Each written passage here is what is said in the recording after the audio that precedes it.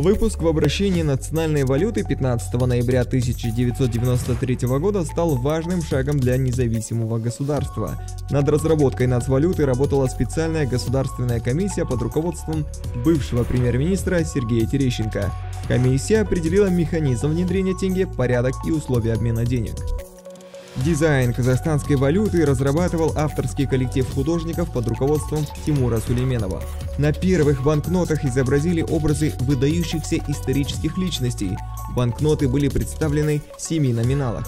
Одновременно с банкнотами в обращение вышли бумажные тиены. В 1994 году их заменили монетами. В настоящее время тенге входит в список наиболее защищенных и красивых банкнот мира.